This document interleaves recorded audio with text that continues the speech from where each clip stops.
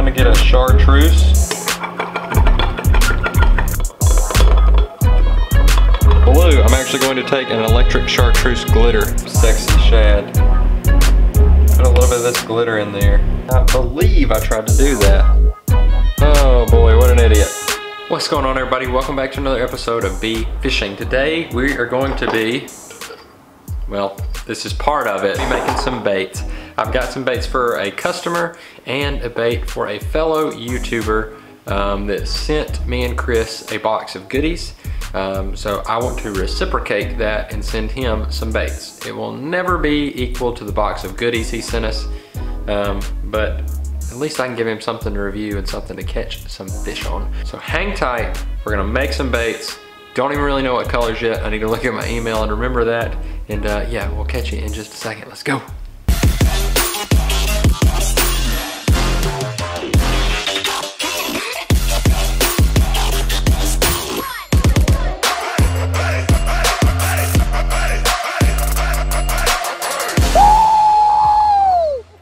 Off, check that out. Isn't that pretty freaking cool? It's got our logo on it. How cool is that? That's a Bandit 200. That is the bait that we love using on the channel. Shout out to uh, Christopher for getting those done. That was, that's pretty freaking awesome. We're gonna be using our brand new bag of bait plastics. This is actually my first time using this plastisol. You know, normally I'm a dead on plastics guy, but this stuff is supposed to have less air bubbles, so we don't have to compete with all that. It's supposed to be easier to mix up. It's supposed to be really clear. All around it's supposed to just be a good plastisol. So this is the medium plastisol. Um, I do have some softener as well as some hardener just in case this isn't just right. We're gonna give this thing a go. You're not supposed to have to mix it as much. Um, so that's pretty good. We're gonna do half a cup, half a cup, and another half a cup. All right, folks, here is the clear plastic. First impressions, extremely clear, low odor. Uh, I can't complain with this. This is actually pretty good plastic, so I'm pretty happy with it. All right, first one we're gonna do is gonna be an easy one. Should be a knockout. And then it's gonna be black with red flake. Wants these in some Senkos.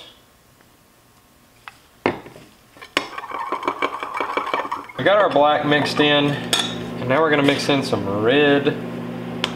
Uh, I'm not even gonna count how many scoops. I do all the red by eyeball, especially in black, because that black will hide it so well.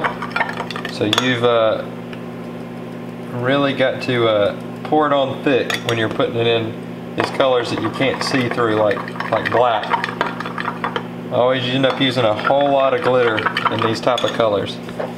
Also, I will get a scoop for this. I'm gonna put in some red fine powder. So I put in some really thick, or uh, some bigger size glitter. This is some smaller size. This just gives it that little bit of extra pop. Um, I really like mixing that little bit of, oh yeah, that's a good looking color right there. So that color's done. That's an easy one. Black with red. That's a slam dunk all day long. We're gonna warm this up and then we'll shoot it in these Senko molds. Uh, then I'm also gonna make our uh, YouTube friend some of these in Nightcrawler. Um, and I'm gonna mix up a special color I know he likes. He's mentioned on his YouTube channel before that he likes. See if I can't get that color right. what I'm gonna have to do is I'm gonna do one and one and another and another in both of these uh, the dual injection mainly because it's super hard to get a full full Senko with just one injector. Like a full pack like you know two molds worth. While we're waiting on these guys because that's going to take it a minute because I may have screwed up and not made enough plastic I hope that's not the case. We're going to start on these four and a half inch swim baits. I've already got the plastic melted up right here. And what we are going to be doing is we're going to be doing a silver and a blue. So I've got this brand new from, I think this is Lurecraft, silver minnow It's already got the glitter already in it. This is one of things Chris bought because he wanted a color in it and he sent it to me. So it's Lurecraft Silver Minnow. It's already got some silver glitter. We're gonna see how well this does.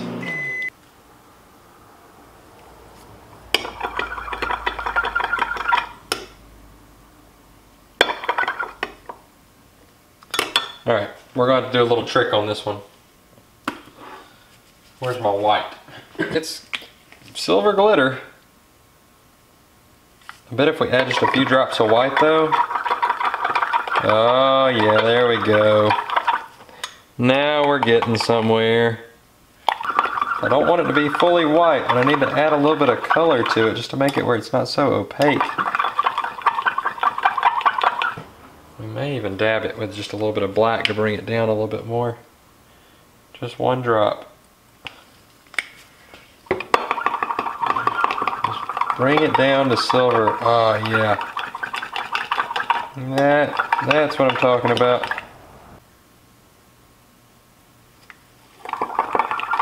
It took a little bit of trickery, but we've definitely got a silver now. And we need blue. And blue I can do. He's wanting like a sexy shad type deal.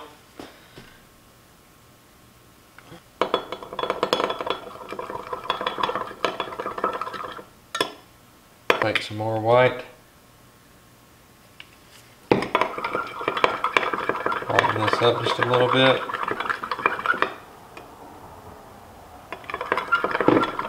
Let's crack these open, see what we got.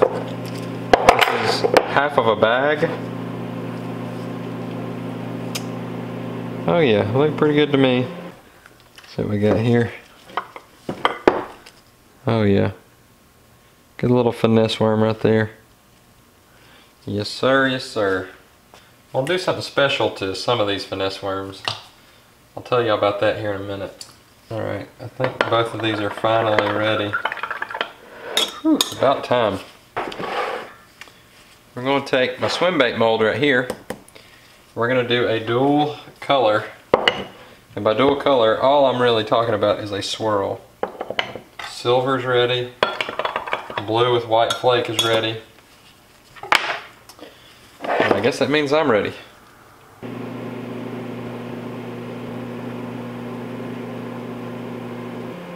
Right, this is supposed to be a swirl. So how we're going to do that is we're going to milk the cow.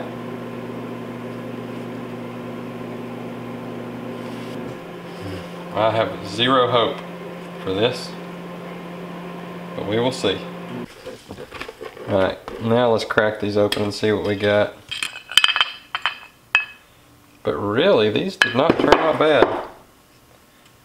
You know what, hell, maybe he just might like these.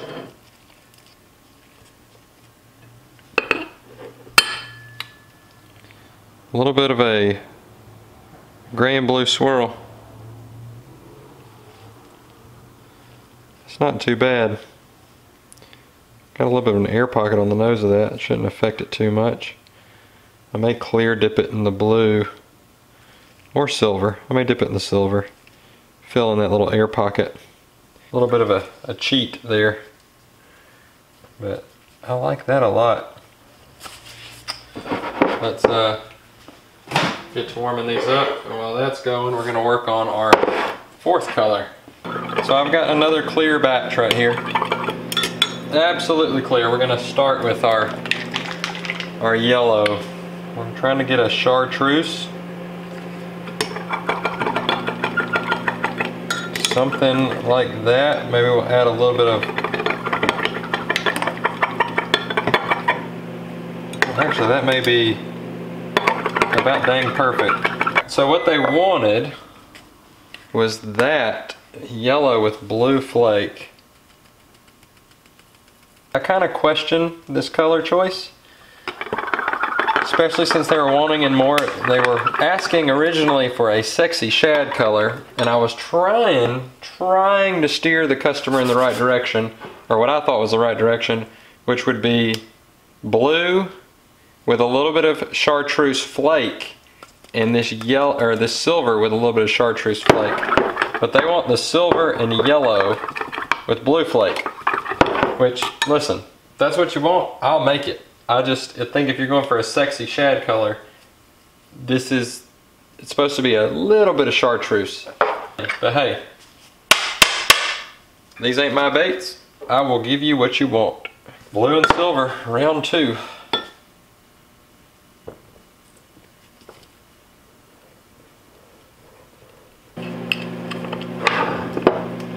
Let's see how we did here. Second pack.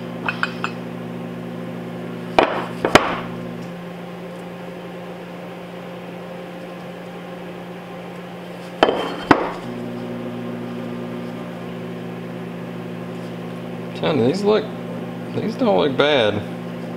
It's really hard to get a swirl in there like he wants. Just because there's, it doesn't take a whole lot of plastisol to make these, but it's about as good of a swirl as you can get. Top, bottom. So we're going to do it, top and bottom. Chartreuse is going to be on the bottom, silver is going to be on the top. I doubted it, but this is going to be a good color.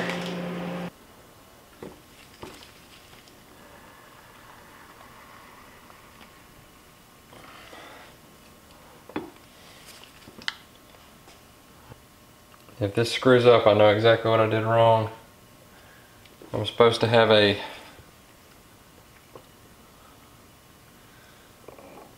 an equalizer pole thing.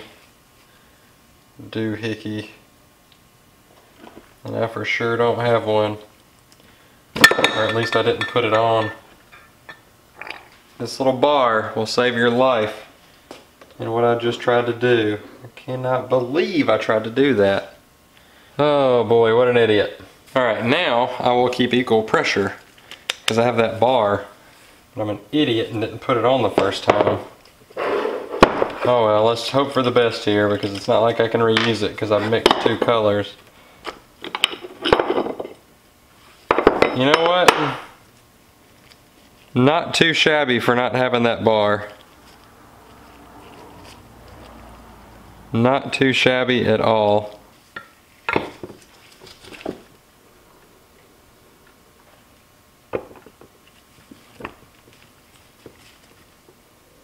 Alright, so now that I'm done with these colors, I would like to take a moment and mix up what I think would be an actual sexy shad.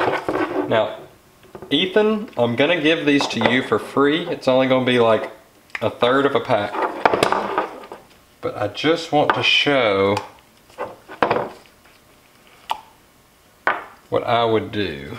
Still need to make a couple packs of natural. That's gonna be my other thing, making a pack of natural for uh, foul mouth.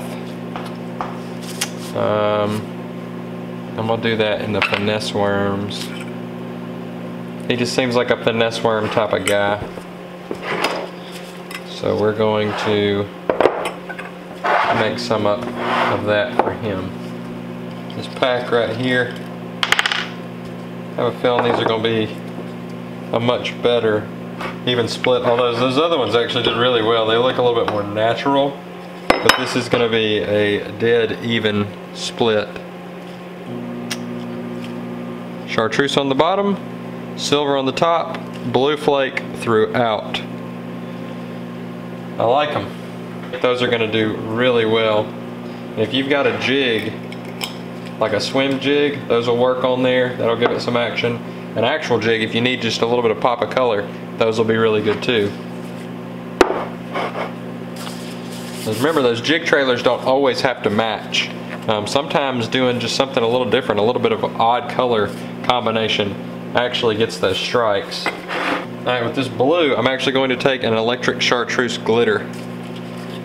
And this is how I would mix mix up sexy shad. Put a little bit of this glitter in there. Alright, with this silver I'm going to leave the blue in it. Uh, mainly because I can't take it out. So we're going to leave this in it, but I am going to brighten up the silver a little bit a little bit of white. I want it to go a little bit lighter.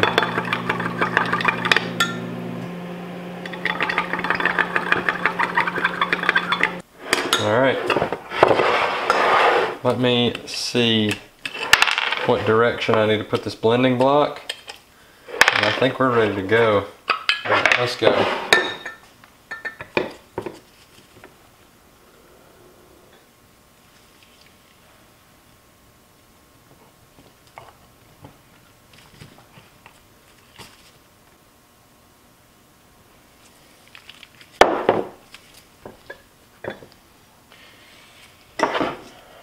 So I've mixed this up. If y'all want to go ahead, go get on Instagram, get ready to DM me, go ahead and start writing out your message about how you want this color um, in some swim baits, whether it be the shorter three and a half inch or this four and a half inch. You might wanna go ahead and start writing out that, that message now. I'll also accept these orders or donations. Remember the tax thing, donations, um, through my email. That's linked in the description. You might want to go ahead and start typing that out because this is about to be a absolute fire color. Get ready.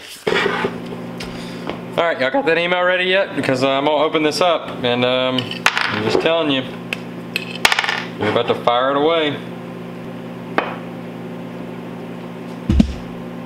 That right there. Let's see if I can get a better angle on it. That is what sexy shad should look like. A little bit of yellow, blue with silver on the top. That right there, my friends, is a dope swim bait. Look at that. Uh-huh. I'll be waiting on your emails. We can make as many as you need. So, again, Ethan, I'm gonna send those to you. You can have them as you wish. Uh, play with them. Let me know what you think. And uh, hopefully this video will be out. Well, the video will probably be out after you have these, but that is my thoughts on Sexy Shad. That's how I think they should look.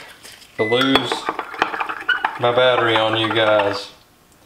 But when you come back, I will have made a, a bug, a creature bait, in Sexy Shad, same way. Um, so if y'all die, you'll be back in like two seconds, and that's what we'll have done.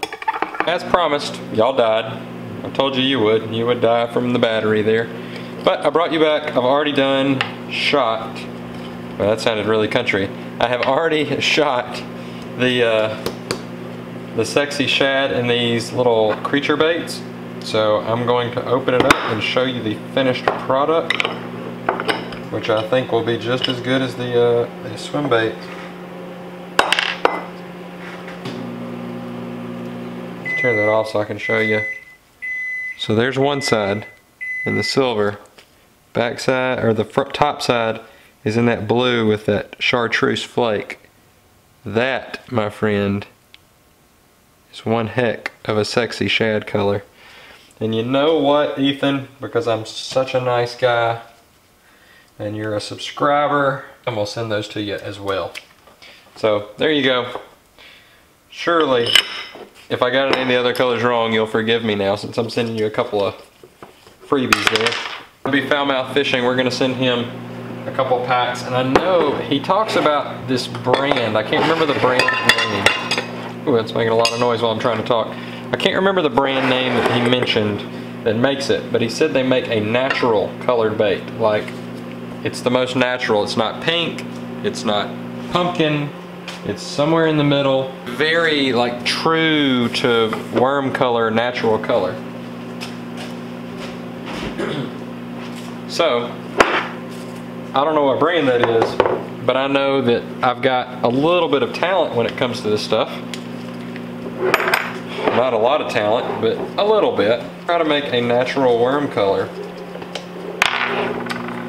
and see if we get foul-mouth's stamp of approval.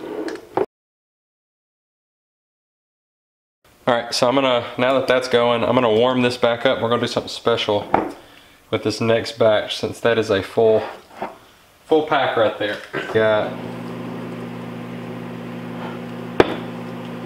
And that to me looks natural, like a natural worm color.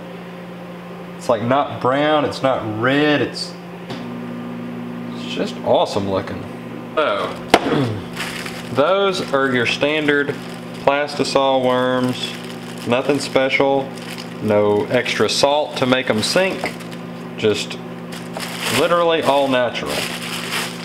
However, I got this stuff, I've never tried it. And I know foul mouth fishing, you have a bait tank. And I'm very curious to see what these look like in your bait tank.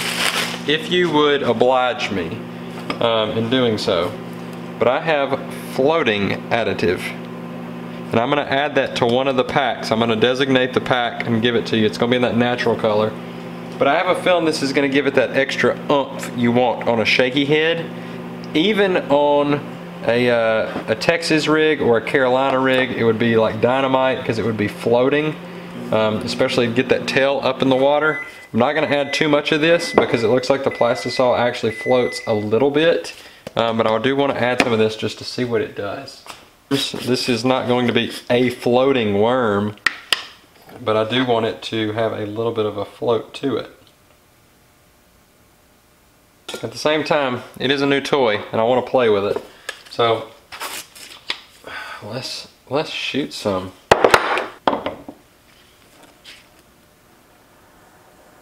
We'll see how those turn out and then this video will be done. Let's crack these final ones open. And we're gonna call it an evening. Let's see what we got. Uh,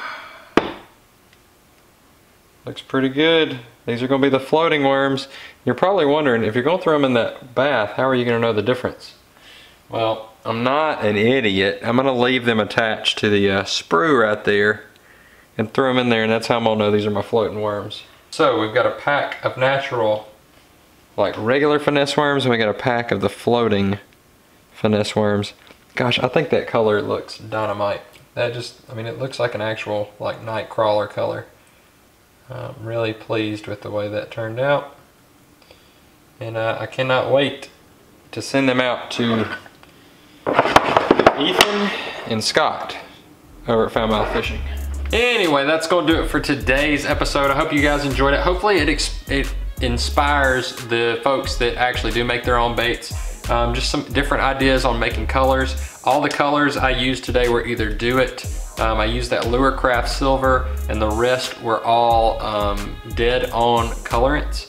Um, you could probably tell the difference by the bottles I was using as to what I was using. The molds I was using was a Lurecraft uh, four and a half inch swim bait, a Angling AI creature bait, I believe it's called the Stinger, and then the rest were Do It molds uh, for the Senkos and the uh, night crawlers. Um, if you wanna make a bait order, contact me in email linked below, or you can also hit me up on any of the social media, Facebook, Instagram, you know, just DM me. I'm gonna get out of here. If you like the video, hit the thumbs up. Uh, leave me a comment below on what you thought of the baits. Uh, is there anything you would have done different on that sexy shad? Uh, silver, uh, blue, chartreuse, how would you have mixed it up? And uh, what'd you think of my interpretation on sexy shad there at the, there at the last? And uh, as always, hit the red subscribe button, turn it gray, and uh, hit the ding dong notifications if you want to be notified anytime I release a new video, whether it be bait making, on the water, testing out products. Good Lord, we do everything on this channel, it feels like, uh, and I wouldn't have it any other way because it's all around fishing. And that, my friends, is what I live for. So I'm gonna get out of here. Hope you guys have a good one. We will see you later. Bye.